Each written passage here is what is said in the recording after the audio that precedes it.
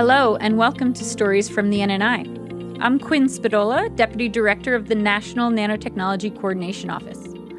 I'm joined by educators to talk about inspiring curiosity, creativity, and action with nanotechnology. First, I'm going to let my guests briefly introduce themselves.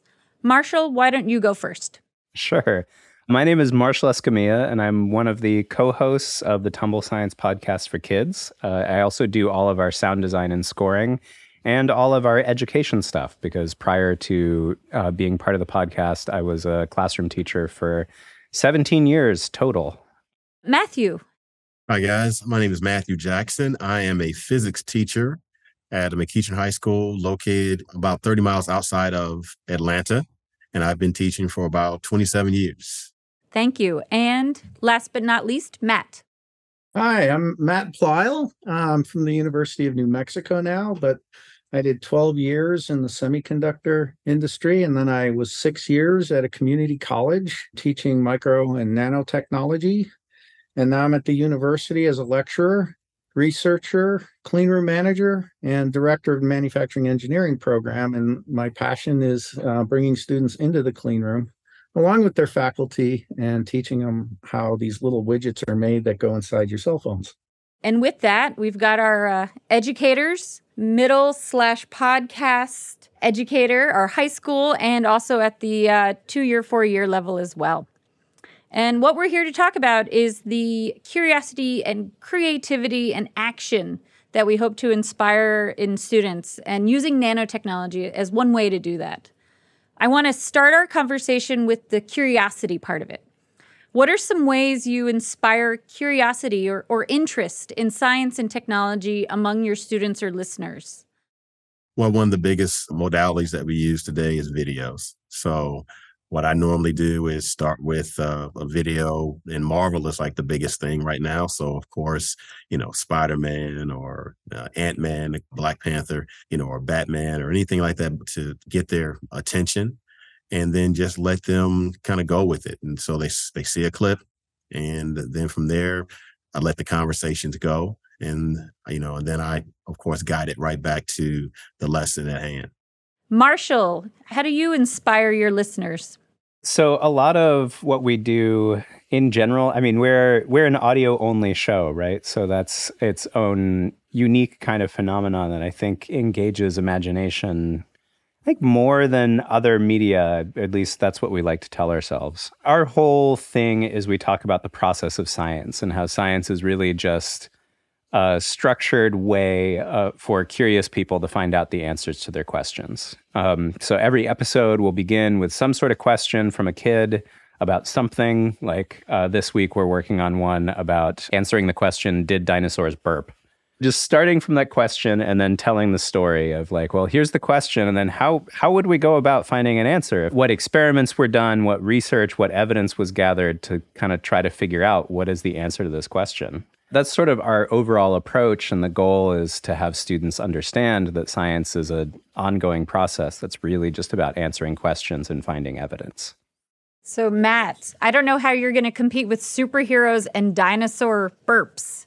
I take another spin on trying to get them curious about science in general, but most of my students are either in the two year community college or at the university, all the way up to, you know, PhD level. And so they're starting to become really interested in jobs, right? And careers.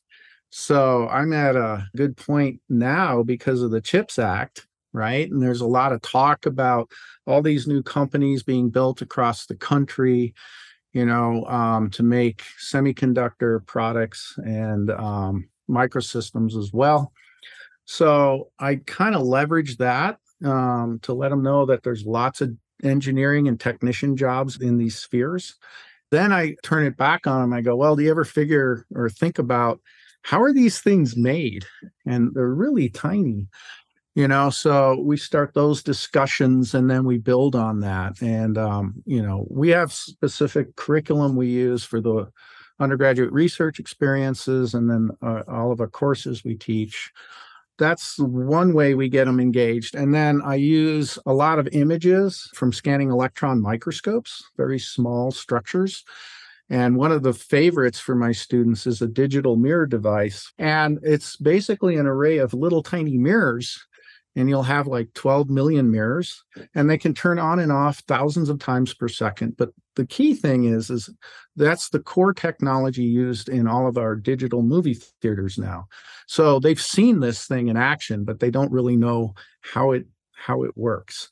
So we have a lot of fun talking about that. And then well, how do you make the mirrors? And then we go through all of that. So that's kind of, I use the future job as the key to getting them interested and considering these these career paths on how these things are made and you know what equipment's used to be to make them and things like that.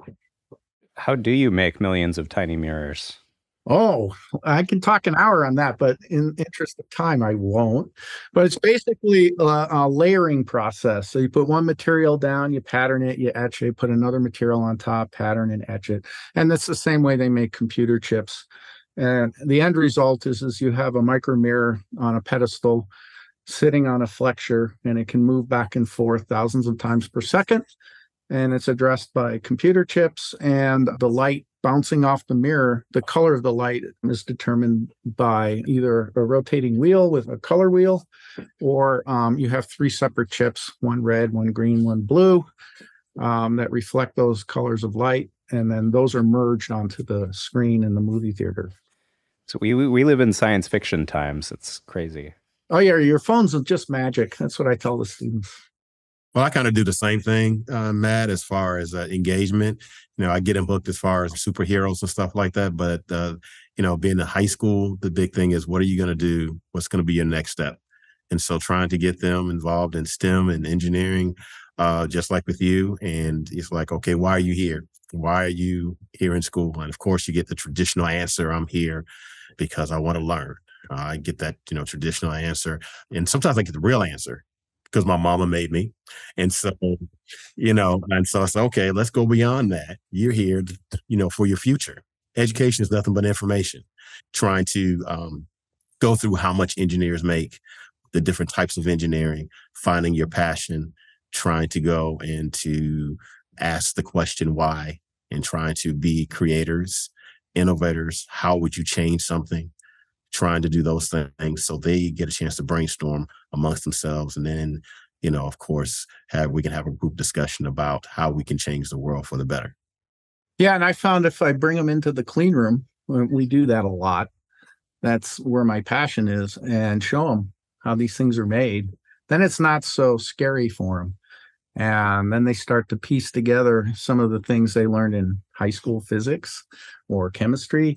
And oh, gee, this is actually how it's applied. So my engineering students, you know, most the most of my engineering students are mechanical engineers because that's the department I'm associated with. So they like hands-on stuff.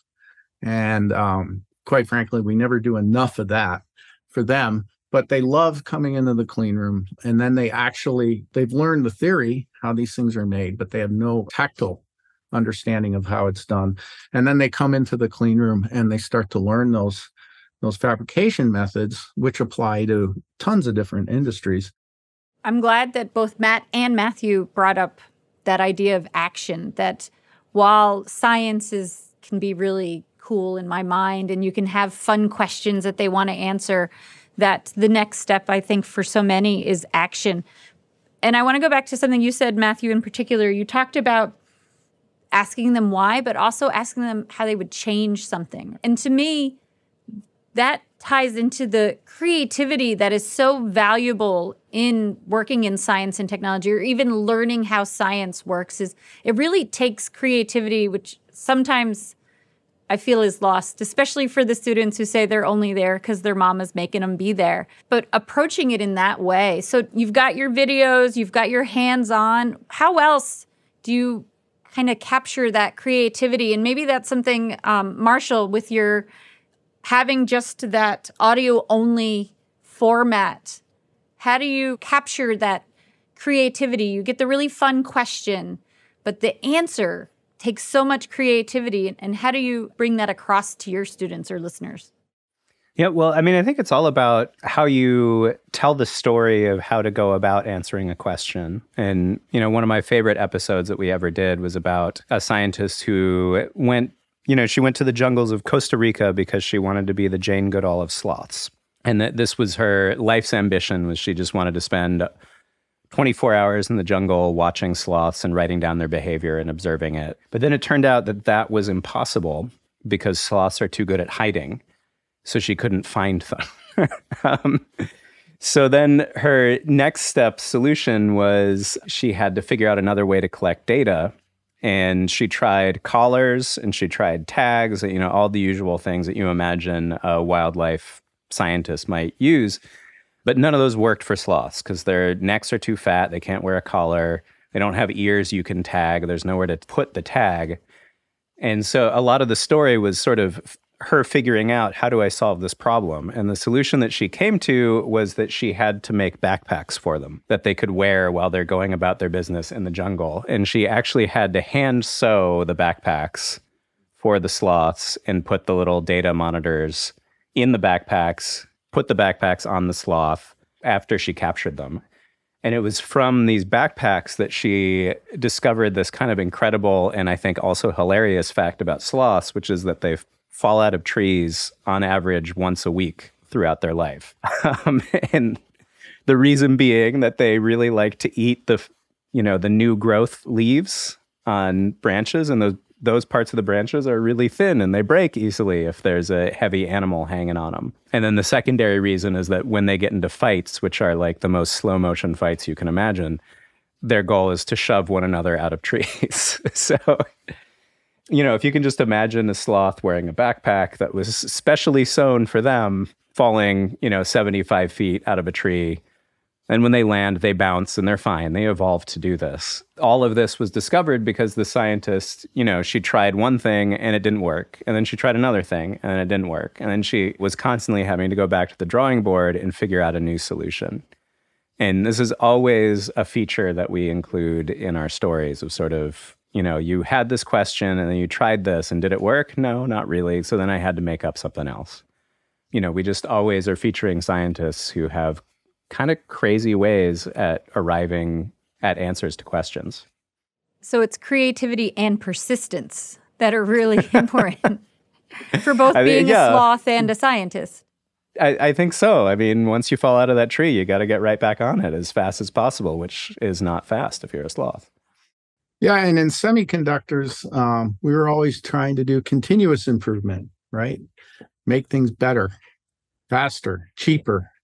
And uh, I think a lot of science is that way. You make incremental, uh, very small step improvements, and then you eh, you look back after five years, and it's like, wow, we went from here to all the way over to here, and now you know we can track sloths and trees and I'm sure they use semiconductor products in the backpacks to phone home and all of that fun stuff. Yeah, I mean, most definitely. They they had all kinds of sensor equipment in the backpacks, including I think it was a pressure sensor that, you know, she was looking at the data and she kept seeing all these weird spikes in pressure, and she was like, "I don't what what is going on there."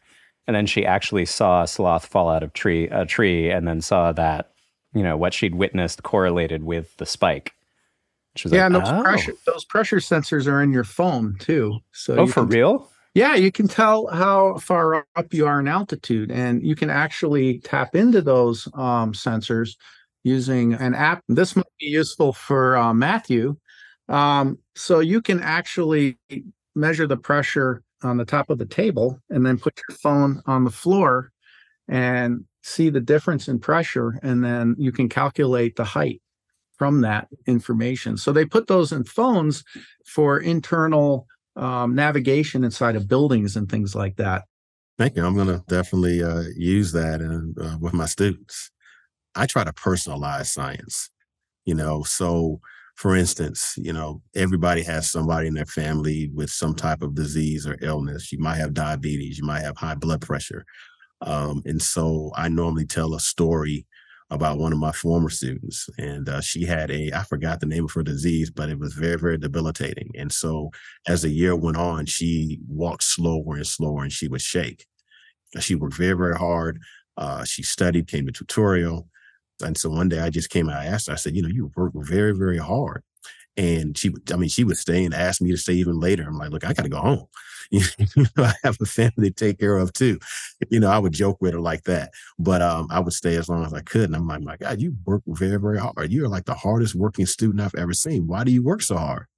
And so she was like, well, I have a disease and I'm not supposed to live past 18. And so she said, Mr. Jackson, I'll never have an opportunity to to drive because I shake all the time. I'll have never have the opportunity to go to prom, according to the doctors. And so I work so hard because I have a little sister.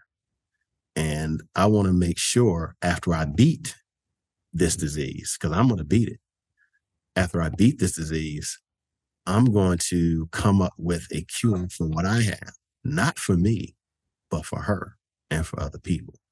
And so I, I'm, I mean, you know, I'm almost in tears myself. And, you know, it takes a lot for me to cry, but I was like, oh my God, to be, you know, um, 14 years old and to articulate that particular passion and stuff like that. And so I tell that story to my kids. And so I say, okay, there's somebody in this classroom who has a cure for cancer. There's someone, you know, in this classroom that has a cure for, you know, uh, high blood pressure, flu. We just got through COVID. And how did we get through COVID so fast, you know, and come up with a vaccine for that? And so talking about, you know, the nano process and how all of those things were part of us being able to do something that, you know, made history by being able to do that that that quickly. Each and every one of you guys has that within you because all of you are stars. All of you are made out of star material. And so, therefore, you need to come in here. You need to do the best job that you can. And so that's how I try to personalize it. And so, therefore, you come up with, instead of saying they, you come up with the cure. Instead of saying, why don't they do something? No, you go, we change that, that, that conversation to personalize it. And then, of course, we move into the shoes on your feet, Nike, and you, you know, those are engineered, and you know, everyone has, you know, some type of shoe on their feet. So, okay, instead of just wearing it, why don't you make it and become a creator? So that's another way that I'm, uh, you know, along with you guys, how you know I try to get my kids inspired about science and technology and being able to use those things to change the world. Yeah, that's really good. In my classes, we do a lot of projects as well. So after they learn some of the core skills and, and methods, then we let them work on a team and create different projects. So it depends on the course and what we're doing. But um, they'll they'll come up with some really wackadoodle ideas. They're actually quite neat, you know. I remember one freshman projects class, uh, a group decided to make shoes, design shoes like stilettos but that turned into flats. So it was primarily women on that team. And they always said, Yeah, we have two pairs of shoes when we go to a party or something. And so now, you know, they only need one pair of shoes. So they came up with a way of doing that. Is that on the market yet? uh, I don't know. I don't know, but pro- you know, probably those students are going to be graduating soon, so wouldn't surprise me. Yeah, as understand it, if they could do that and make a dress with pockets, I think like 100% of women would be happy. All of you talked about the student presenting the question or the challenge or the problem or giving them space to think of themselves as the people who will solve the question that they want solved or that they need solving. And I, and I think that's a really powerful way to recognize that there's genius everywhere and everybody has that genius and you're you're pulling it out by providing them with an opportunity to ask those questions, to think about those questions, and maybe envision themselves making the um, sloth backpacks one day or finding the cure for their little sister. I do want to tie this, though, a little bit into nanotechnology and how nanotechnology can really help to inspire students and inspire that creativity. Matt, you mentioned that with with getting them into the clean room and helping them to understand how those really little tiny things work, and even you inspired that uh, curiosity in Marshall. He had to ask, how do the how do we make those mirrors? So to bring it back a little bit to uh, nanotechnology, how do you bring that into the conversation? Because you can't bring everybody right into the clean room from the start, Matt. You have to introduce them to it and Matthew, you might not have a scanning probe a microscope in the classroom, even though you're not too far from Georgia Tech, so that maybe you can uh, borrow their tabletop one. And, and, Marshall, nanotechnology is literally invisible. So working at uh, with the audio, you're you're kind of already ahead of the game because you don't even have to worry about how you capture something that you can't see with the naked eye. So how do you bring that into it? How do you use nanotechnology to capture that curiosity and creativity? I use it when I talk about making small things. One one of the most common structures is a cantilever, which is a, basically a diving board, right? When they're very very small, you can do a lot of different things with them. One application would be, of course, um, the cantilevers used in an atomic force microscope. So it's a very small structure. It's considered micro, not nano, but it's functionalized to tap into the nano world. So I bring in nano in that way. I say nano functionalizes sensors oftentimes. Uh, it provides coatings. A lot of the semiconductor industry now is at the nanoscale. They have seven nanometer transistor gates, which is amazing because when I was in the industry, we only got down to you know um, about 500 nanometer transistor gates so, and that's just in the last 20 years or so, we've made a huge quantum leap. And, and so we're making very, very small structures using um, microsystems fabrication methods, but that end up being nano enabled. Um, you know, the, the, the quantum chips that they're talking about now, you know, um, leverage nanoscale structures. And so, you know, you can, you can talk about a diving board and then bring it all the way down to a micro cantilever and then talk about how it's functionalized and used by nanotechnology as well as the macro world. Well, I think everybody can imagine a diving board, so that's certainly a good place to start moving smaller into um, cantilevers and AFM tips. I have an old TV. Uh, my school, we've gone from the big, huge two televisions to, you know, the flat screen TVs and stuff like that.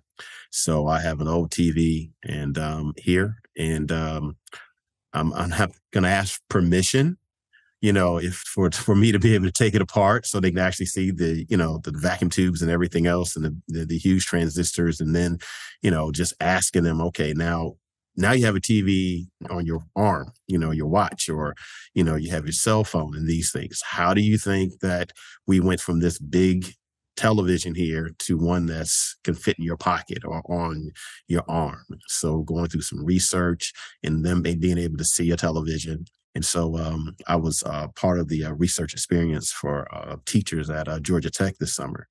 And part of that was to introduce um, uh, a lot of our teachers. And we had like five different sites all over the country, but uh, just to introduce us to Matt, what you're doing. And so we got a chance to play with a million dollars worth of equipment to see actually see some of the processes and going through the clean room and and everything. And you, you get gowned up and you know, it looks like you got to get your G14 classified you know, badge to get in and everything else like that. So uh, that was cool. And I got a chance to videotape myself doing that whole process.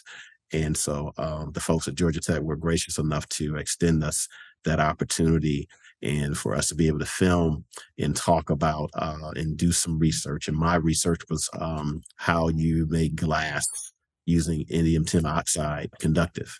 You know, the challenge for me is talking about nano is really not part of my uh, curriculum. So trying to bring that in and fit that in. So when I talk about electronics, like I said, take the TV apart, let them do that, do a little research, and then it's like, okay, now we take the glass and they, you know, so while we're going through circuitry and seeing that glass is, of course, non-conductive.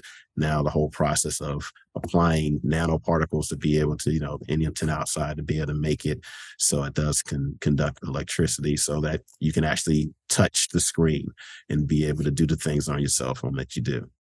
you know, our listeners range from age three to 13. And, you know, in my teaching career, I did teach some high school, but um, most of my time was spent with middle school age kids. And I think for those kids, you're still trying to get them to wrap their heads around general concepts of scale and proportion, you know, like how big is a light year and how small is an atom. These are these are things that young kids don't have an easy time really understanding. I don't think grown-ups understand that either. yeah, I mean, I mean, definitely. I we just did a series about the size of the universe, and I, I found myself dealing with numbers where I was just like, oh, oh, my God. Is there any way I can try to make uh, the distance from here to the edge of the Milky Way seem like a reasonable number that anyone can understand? Uh, we spend a lot of time just talking about scale and proportion and size and how how that can connect to something that kids can understand. We've done a few episodes about nano related things and when we do that we spend a lot of time talking about like what's what's microscopic and you know how small would this be compared to like the tip of your fingernail or something like that. I have a favorite analogy that I like to to, oh, to do. What, what's your favorite? I'd oh, well, to hear it. I have two. One, I have everybody look at their thumbnail, and I tell them that in one second their thumbnail grows a nanometer, but you can't see that because it's so Wow. small. But every second, our thumbnails are growing a nanometer. Or another one I like is imagine you're holding a softball, and the difference in size between a softball and the entire world is similar to the difference in size between that softball and a one nanometer in diameter nanoparticle. So, to the nano scale, like we can hold the world in our hands. Like that, that is the difference in size. So, those are the two. I don't know how well that still hits home at that, how small that length scale is, but that one to me is like when I'm holding a softball in my hand, that's like the world to the nanoscale. I, I use the hair to start with, right? 100, 100 microns across the hair. And then I usually show some images um, of small gears made at Sandia National Labs. So the gear teeth uh, are about 10 uh, microns. And I say you take a red blood cell and put it on top of the gear tooth and it'll drape it. Right. Some kids have seen red blood cells in bio, bio class on the microscope. So they get that, they get a handle on that. And, and then, you know, as we progress even smaller, we talk about the angstrom. So there's 10 angstroms in a nanometer. And I say an angstrom's about the size of a hydrogen atom. And that's, you know, the the smallest atom you, we've got. So, you know, they can kind of get an idea of that, you know. And now with the with the Webb telescope, when we're talking about huge distances and measured in light years, you know billions of light years and uh and so now you've got the extreme large distances and the extreme small distances and it's yeah it's beyond what a lot of people can envision. How many softballs does it take to string all the way across the universe? And It's yeah, when you're talking in numbers at that scale, it's like there's no there's no analogy that makes it digestible. yeah yeah. Powers of 10 right there's that old uh um video from the what the 60s the film powers of 10 and then they've remade it a few times so you know they start out far away and then they go all the way down to the microscopic scale and that that helps YouTube has a lot of videos like that as well. Um, that it it does uh, the scale of the universe, and as you just said, it will go all the way up to a galaxy, all the way down to a nanometer, and it does a very very good job. So a bunch of videos on there it does a very very good job. So it gives the kids you know a picture of it, you know, and so I'll, I'll normally use that, and then I'll tie it to I don't know if you guys remember the old movie uh, Fantastic Voyage, which is on the inside of you know someone you know is who could forget that well Oh, of the body. And I know nano's much smaller than that, but at least they can have some type of reference and imagine themselves shrinking down, you know, to be able to attack a virus or something like that. And so, you know, that kind of gets them, you know, going creatively as well. I mean, like Honey, I Shrunk the Kids is maybe my frame of reference. Honey, is, yeah. Yep. I was going to say every generation has their their their story of exploring the really really small. That the Fantastic Voyage, Honey, I Shrunk the Kids, Ant Man, all of those. So it's definitely one of the frontiers. Yeah, th- those are all really fun, um, and it gets you thinking. So that's the key, right? Start wondering you know what would it be like if i shrunk down to the size of whatever and walked around like i'll do that in my class when we talk about crystallography i go shrink yourself down stand inside the crystal and then start looking around and you'll see these repeated patterns right of the crystal structure so i try to get them to visualize that i wanted to end our our conversation today on the action part of this uh, inspiring curiosity, creativity, and action with nanotechnology. We already talked on it quite a bit, and, and the idea of, of jobs, good jobs, learning, you know, approaching the world and understanding the structure of science. But I'm going to invite each of you to kind of think about what is the action you would really like to see from your students or listeners in, in a perfect world you know, Matthew, what is what is what is the action you would like to see? Because not everybody needs to grow up to be a scientist or an engineer, and not everybody needs to have a PhD to be a scientist or an engineer, right? But there there are certain things that you can hope as they get curious about science and technology. What what do you hope they walk away with and they take with them, and the actions they maybe take next from it? Number one just the the exposure just to have that curiosity i mean the cell phone is a necessary evil. It makes the kids so readily able to do something. You take something that costs what two thousand dollars, and you can just open a box, and all of a sudden they can work it. And that's not how you know that's not how science is. Science is a process, and so and it takes patience, and many times it takes years upon years for scientists and engineers and you know inventors to come up with one piece of of of whatever. And so just to learn that patience and be able to take that patience to whatever endeavor that they have in life. Uh, and so going through these uh, different experiences and hopefully they'll go to to Matt's side and be able to, okay, I want to spend maybe two years in in in order to get this particular degree. Well, you know, maybe I'm not, as you said, everyone's not going to college, everyone's not going to the military or something like that. You know, I always tell my kids either go to, you know, college, trade school, military, get, and it's just all information, one of those things. But just to to to go and to be able to look for information, we have so many of our students. I'll just speak for, you know, in in my area that just they're just not exposed to anything beyond what they can see, and so that's very very limited being able to be exposed and just dream to say that, you know, I can do. It doesn't happen overnight. Everything's not like your cell phone. I just pull out of a box and then it just happens. Everything's not microwave and it, it takes some real time. So by going through um, the whole process of being able to apply, look, do some research, fail, um, I think that's one of the biggest things that people, you know, what do you learn from failure? Okay, yeah, I failed. So what are you going to do? Okay. Did you learn something from it? Can you go and move to the next stage? And that's the biggest part because, you know, just going through this, this journey called life, everybody's going to fail. You know, no one's perfect. And so how do we, you know, how do we maneuver? How do we um, matriculate through life and learn from those failures and not repeat the same types of things? And so that's the biggest um, part that um, I would just like to see. I know all, all of us want to see just our kids maturing and being the best citizens that they can.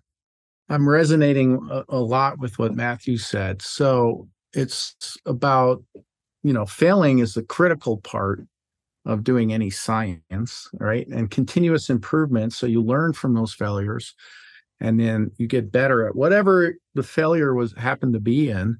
And it goes back to developing your skills as a critical thinker and also being creative in terms of solving problems. So if we can instill this to our students, you know, it's science is a way to learn how to critically think, how to continuously improve oneself.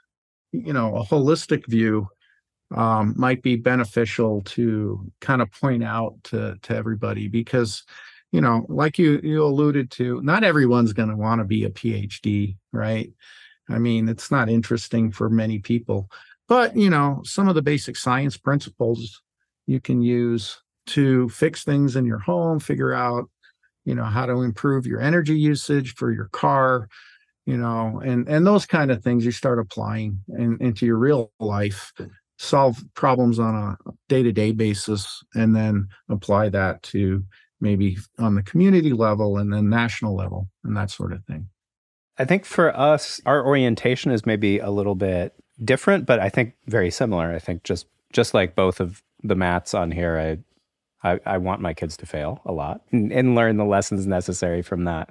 But you know, neither Lindsay, who's my partner in podcasting and and life, is, nor I were really science people. I mean, my my undergraduate degree was in English, hers was in creative writing. And when we were approaching the podcast, it was not necessarily as subject matter experts as much as people who really saw the importance of science literacy to our whole, honestly, civilization. Um, and we really have as a strong goal for all of our listeners to take away just a sense of what science is fundamentally. And when the answer that the quote science gives for something changes, why did that happen? I think it's it's really important for everybody but particularly kids to understand where all this comes from. You know, it's a bunch of information that we come to conclusions based on evidence and when new evidence arises the conclusion changes when it comes to action, our main goal is, you know, some percentage of our listeners are going to go grow up to become scientists, and some percentage are going to grow up to become engineers, and some are going to be science teachers, and some are going to be math teachers. But I think a lot of them are going to go on and do things that are completely different. You know, maybe they'll be musicians or they'll do something that has nothing to do with science, but it's still, I think, important that they know and understand where science comes from and how it draws the conclusions that it does.